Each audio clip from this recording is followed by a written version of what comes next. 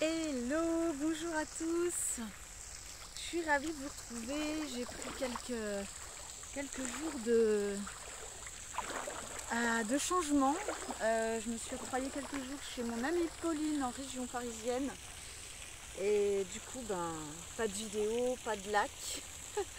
Donc je suis de retour et, euh, ben, je vous invite justement à midi à venir me rejoindre sur mon Zoom. Il y aura toutes les précisions euh, sous la vidéo, le lien Zoom, etc.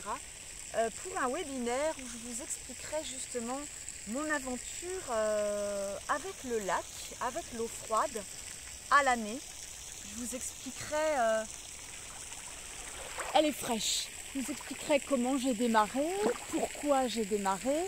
J'ai démarré parce que je suis frileuse, très frileuse comment j'ai démarré, euh, quels ont été mes trucs et astuces pour y arriver euh, à l'année et euh, même quand le lac est gelé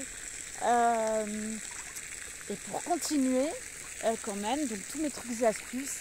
Je vais vous dire aussi ce que j'ai appris sur moi pendant cette aventure ce que j'ai et ce que j'ai pu du coup implémenter dans ma vie professionnelle et dans ma vie personnelle. Allez, on va faire un petit tour sous l'eau.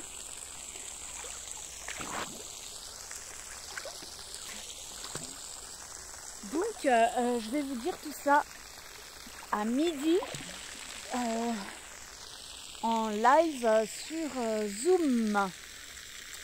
Donc, si vous voulez me rejoindre, ce sera avec grand plaisir. On se retrouve à midi. Vous allez voir vraiment euh, l'aventure euh, de l'eau froide à l'année. Euh, c'est vraiment une aventure déjà, une aventure intérieure aussi, où on fait face à ses peurs, à ses émotions. Voilà, peur d'attraper froid, peur d'avoir un malaise, peur, différentes peurs.